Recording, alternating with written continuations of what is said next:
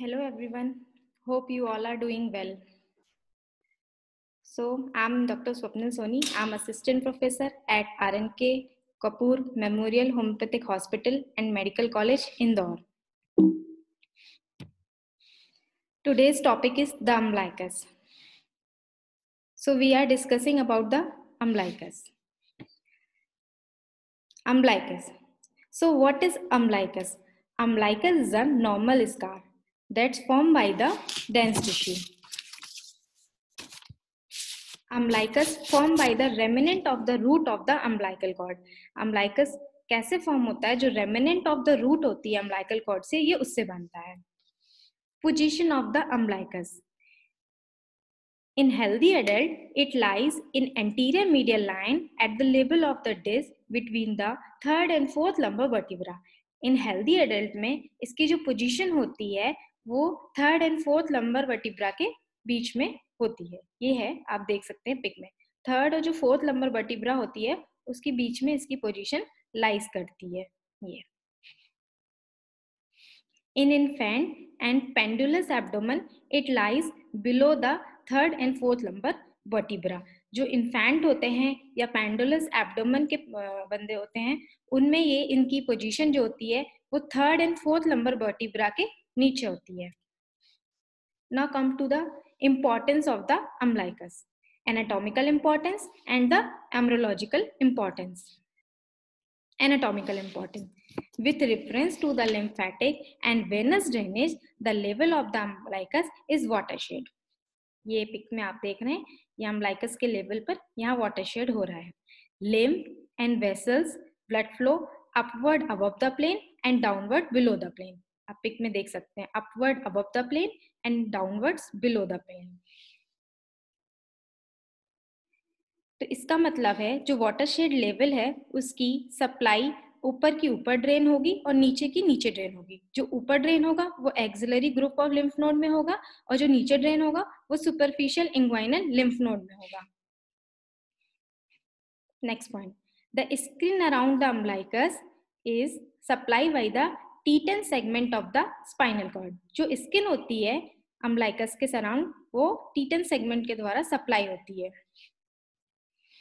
Umbilicus is the important site of the anastomotic site of tributaries of portal vein and the systemic vein that's form portocaval anastomosis In portal hypertension, these anastomoses open up from dilated vein, radiating umbilicus. That's called caput medusae.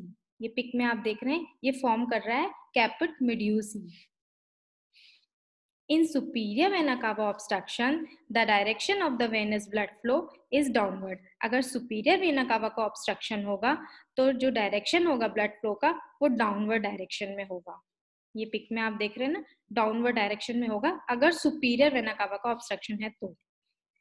और अगर inferior vena cava का obstruction है तो direction of the blood flow जो होगा, वो upward direction में होगा। Embryological importance umbilicus is the meeting of the four fold of embryonic plate that is two lateral fold head and tail umbilicus is also the meeting point of the three system digestive system excretory system and the vascular system digestive system that's form vitellointestinal duct, excretory system that's form urachus, vascular system that's form umbilical vessels. Clinical anatomy. Remnant of the vitellointestinal duct may form the tumor at the umbilicus that known as raspberry red tumor and the cherry red tumor.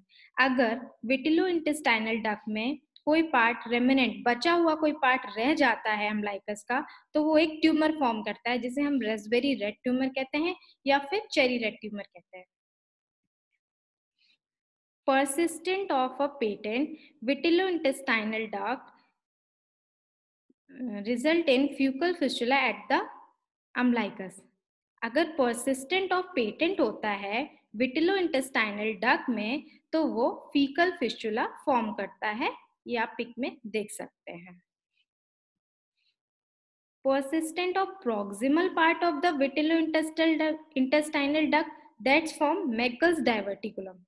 अगर proximal part रहता रह जाता है विंटरलो intestinal duck का तो वो क्या form करता है Meckel's diverticulum persistent of the middle part of the vitellointestinal duct that's form enterocoel.